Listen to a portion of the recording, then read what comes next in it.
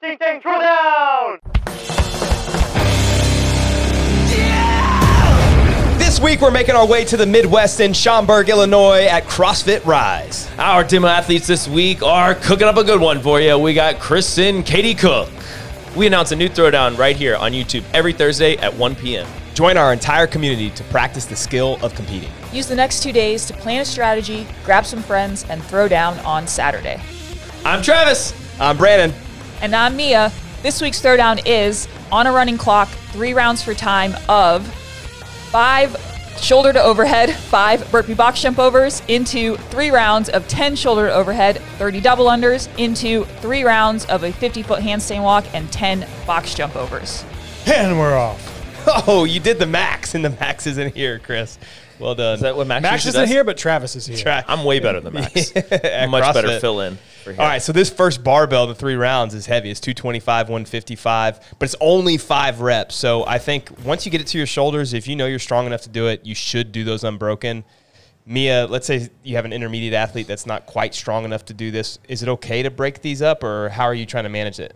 Yeah, I mean, if you have to break it up, you have to break it up. It's only five at a time, but it's 15 total at a pretty heavy load. So I would just really think about what's appropriate for you. And, you know, if you start with five unbroken, but then by the third set, you have to do singles, that's such a waste of time. So maybe break it up from the beginning. Um, but I agree with you, Brandon. If you are able to move this barbell, I think it's worth doing it unbroken and maybe even if that means moving slow on burpee box jump overs. Yeah, I mean, I think if I- if it was me, always trying to, I always want to do just shoulder overhead. I do not want to have to drop that bar and do another clean and jerk, uh, if possible. But I think same thing with Katie in the background going to split jerk. If you already know from the beginning you need to split versus push, like go to it just so that you can kind of like save the shoulders and work on the position. But you can tell right now that this is already like a heavier bar for probably like a normal female, like going into this of having to like really set up and take You just time. call Katie normal?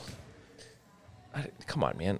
I think that I, I He meant like non-games athlete. Yeah. Yeah, Uh-huh. I, I think that Uh, this sorry, the, Katie. The first three rounds definitely are going to be a little bit slower for those that this bar is just heavy. The one thing to note is we do have a scaled version. So if you cannot do this for, let's say this is your one RM or close to your one RM, then go to the scaled version so you still get a good workout in. My next question for you two, because you guys are competitive athletes, if you know this bar is going to be heavy for you. Is a strategy to just still go fast in the burpees and then take a long rest before the bar, or just kind of go super slow on the burpees and then you know whatever do your take your time going to back to the barbell. I would do something in the middle of that because I don't think the transition to the bar is going to be crazy fast. So I don't think it's like if you're going super slow on burpees, you're you're still doing burpee box jump overs, and I think you'd still need a few seconds to gather yourself before going into the bar. So I would do probably what Chris did, which is a smooth burpee box jump over. He's definitely not sprinting, but I wouldn't say he's moving slow at all, and then just staying under control throughout. Yeah, I think for me it'd be the same thing. I think I might be a little more aggressive with the pace because I know 225 is still something I can still cycle fairly well, but still probably going to like a step up burpee versus like going into like a full jump to get up just to kind of like save the legs because going into these later Ooh, rounds he abandoned his feel it. strategy, didn't he? Didn't he say he was going to do fives? Yeah, I think so. It felt so Hey, good after the when you're strong, you're strong. Now I will say, so we just talked about, hey, if you get to your shoulders, it probably makes sense to keep it unbroken with that first barbell because it's only five reps. But now you're going into three more rounds where it's ten reps, so thirty total in these middle three rounds. At a still a tough load, 185, 125. This may be one, Mia. You tell me that it is worth breaking into like five five or six four just so that you can keep fast when you get to the handstand walks later on in the workout. I think so, especially since the movement in between is so short. Um, I'm interested to see if he goes unbroken again here. Yeah, Or really speedy recovery there on those dubs. I just got to throw that in there. super clean, super clean. but where'd he go? He disappeared. Yeah. He's out of frame. taking He's a- gone. so, so that's He's something gone. to consider too. Is that was a, a pretty long. This video rest is break. Invalid. Would you say it's invalid? Oh, Yeah. because he went out of frame? Yep. Oh. That is true. Yeah, I think for me, even personally, just going into a quick break because I know if I can keep the handstand walk fast at the end, you can make up so much time. So much so time. if you just plan right, going six four before it, like the real burn of like struggling and fighting those last like few reps, drop before that. Like go like two minus failure. I feel like kind of is a good gauge to keep the speed up. Yeah, that's a really good point. The separator is greater on the handstand walk for most people, especially inside the bell curve. Now, if you're an elite level athlete, everyone's kind of handstand walking at the same speed. But for most of us, if you blow up, then it's going to take you like double or triple the amount of time because you're having to wait to do the handstand walk or you keep failing when you kick up the handstand walk and that can cost you a lot. So being a little bit more conservative in the middle three rounds will help you with the last three rounds. Yeah, this is also a good point to focus on your double unders, keeping them efficient to allow the shoulders to relax so that the double unders don't hurt you and affect you on the. The nice thing, and, and this was intentional for the person that wrote this workout, one of our coaches, they want it to be a really fast turnaround on the double unders. Essentially, it's just like an impediment that is going to burn your shoulders a little bit, but the focus is all on the shoulder overhead. So you have five heavy ones in the first three rounds and then 10 moderate load, but it's all shoulder overhead going into the handstand walk. So for someone that's not great at double unders, you still could do those fast and unbroken. But I would just take your time going over to the rope and then take your time getting back to the barbell here. There's no rush if you know you're going to blow up. And you can see his his elbows. It's really out. tough to lock out at this point. So Katie's on her first set, and she's really pushing to hit 10 here. I want, I'm interested to see what the second round looks like. It looks like it may have been a little bit of an overextension, but maybe not. What do I know? we're gonna find out. Let's ask the Skittle Daddy himself. What do you think about these oh multicolored cones? I think they're good. I think it, it's an easy thing to gauge and spot their transition point for the handstand walk and be able to find it. I mean, everyone usually just rocks a an orange. Yeah, I mean, you get We've got the color yellow, of the we've got rainbow. blue, you got the we've got Skittle purple. Daddies all on board with this. All right, so this is Chris's last round of double unders, and he's going to go into the handstand walk. The three rounds, if you are good, you're like a body weight ninja. These last three rounds, it's 50 foot handstand walk and 10 box jump overs should be pretty fast. But Yeah. again, for most of us that aren't great at handstand walk, it's going to be uh, pretty slow on the handstand walk. Yeah, I still just think the fatigue compounded from the first six rounds. Oh, and to the shirt this is point, coming off. Right, like you have to He take went that off into camera to do an consideration. outfit change. Would you say outfit change? Yeah. Yeah. Just like Beyonce. Yeah. Katie still looked pretty good over there. Yeah. Um, she's st- she's push jerking. I think she split jerked the last few. Yeah, you can see that that back foot starting to split a little bit. It's almost like a pseudo split jerk. I think she did six there. Right. Oh, you can the see the shoulders walk. definitely are fatigued for Chris. I almost feel like the first round is almost the worst one. Yeah, I like agree. you I- haven't been on your yeah. hands yet. Like the blood flow, the position, the head rush, it's all kind of like hitting you right now. Where I always feel like the second and third round almost feel a little bit better than that first initial kick up. And he's back on his hands. It's it's like uh, doing a heavy squat. The first set Yeah. always feels like kind of heavy, and then your body gets used to it. Same thing with the handstand. Well, it's like walk. usually like the wrists, the elbows. Like, oh, Yeah, okay, ow, here ow, we go. ow. Let's get it going. but I mean, that was a pretty quick break and turnaround going into the 50 Yeah, feet. he looked really smooth there. Even though he had a little like wobbly shoulders at the beginning, it didn't look like it really affected his speed. Make sure you guys step down these box jumps. We've kind of mandated that in most of our throwdown workouts just to be safe.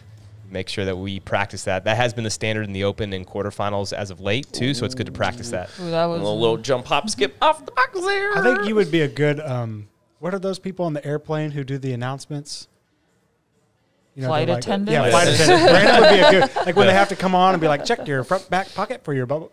I think you really nailed that job. The flight attendant. Thanks, Chris. I take anything you say as a compliment. Was that a compliment? You know, that's something that all people should do. Instead of the haters that are just going to keep hating like Chris, you just take it as a compliment and be like, man, I could be really good at that job. I just said you could be really good at that job. That's what I'm saying. That was actually a pretty fast transition for Chris. So, I, Travis, you talked about this, but I think to your point, it does get a little bit easier in those middle rounds, Yeah. maybe later rounds. Um, there's a point where you're going to start feeling. You can see his elbows are bending on the handstand Yeah. walk. So but just knowing you're up. almost at the end, being able to kick up a little faster, and just not knowing how much fatigue is going to like be happening after the shoulder to overhead. Right? Sometimes you think it's going to be worse than what it actually is, and then maybe when he's done, he's going to be like, well, maybe I could have gone a little bit faster or done a little bit bigger sets. But something you got to play with and experiment with. He's done a good job transitioning fast to the box each time, which I think is really smart. Your shoulders are what are the limiter here, so just get on the box and start moving. Totally. So I think Katie's on her last set of double unders. She'll start her uh, handstand walk after this. Let's see if she can catch up a little bit to Chris. She just throws the rope down and starts running on her hands. Be fantastic. yeah. she said it was her strength. Now, do we trust this couple? Uh, we've seen he's already What? gone off camera twice and they said that their they, they said that See, their name here, is here Chris goes. Here's the hater again. Chris said- and Katie, don't listen to him. No, you no, guys are let's- doing they- wonderful. You guys are doing great. They said their name was Cook, and I read it on the page, and it was K O C H. Is that how you spell Cook? I believe it is. I don't know if my I trust these two. Oh, Ignore here we go, him. Last ten. Yeah, her positions actually look pretty good. She kicked up pretty fast. I feel like too. Mia, do you have any thoughts on handstand walk positions? I mean, it- it- late into a workout, and especially when you're under fatigue, it's hard to keep good body lines. But like, what are the cues that you're telling yourself when you are in a position like this? Yeah, so you want to keep an open shoulder as much as possible when you're walking, and that means the line from your hip to your wrist is straight and there's no angle at the armpit, basically. Um, a good way to make sure you're doing that is to relax your head and not crane your neck forward too much. Which is Um, much whi- harder. I to know do, you, you you think you're not doing it, and then you watch a video of yourself and you're Yes. doing it. And by you, I'm talking to myself. Um, You mean but- all of us? Yeah, We all ev- do re- it. everyone. Um, but that's a, a really great way to keep an open shoulder position. When I'm really fatigued and I'm trying to handstand walk, I really try to focus on pressing hard into the ground because that will also open up my shoulder angle and just create some more stability when I feel like I'm about to buckle and face All right, let's hone in on this uh, cheering technique from the husband here. Are they married? yes. Yes. Chris, leave them alone.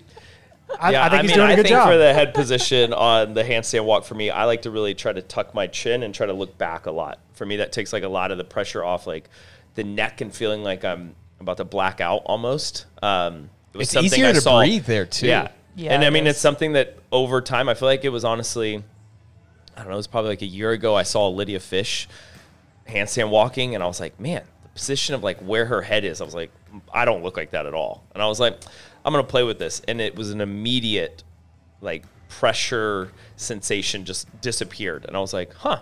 And so then I started playing with it, and it's definitely allowed me to feel like I can last longer in the workouts and still be like in a somewhat decent position. I'm definitely not that great at all either, but you know, you try to just limit that. Yeah. That was really good box jump over speed from Katie. That Yeah, was super smooth. She's done a really good job with these these rounds.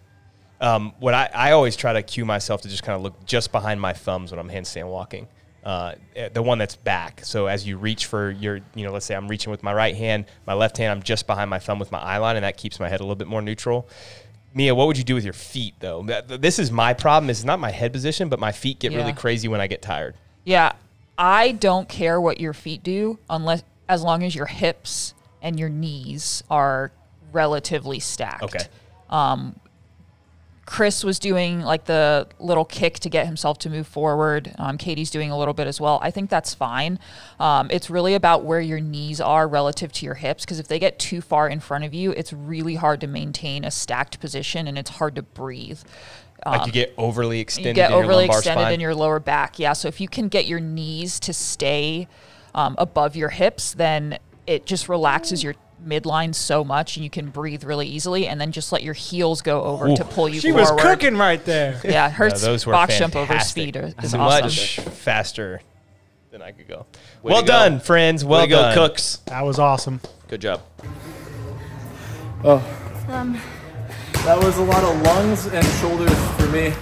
Um, just heavy. It was heavy. My max is 185, so it was a lot of reps at sub max. Um, it went better than I thought, which is like weird considering I took so many breaks, but um, I'm just happy I finished. Good to be done with it. It's a wrap, you know what I'm saying? Your boy Project Pata in this thing, man. Hey, look, man. Thank y'all for watching Training Think Tank's YouTube channel. Y'all hit that motherfucking subscribe button, you know what I'm saying? So y'all go ahead, man. Thank y'all for watching the channel, you know what I'm saying? Hit that motherfucking subscribe button. Let it be known, let it be known, let it be known, you know what I'm saying? Pata.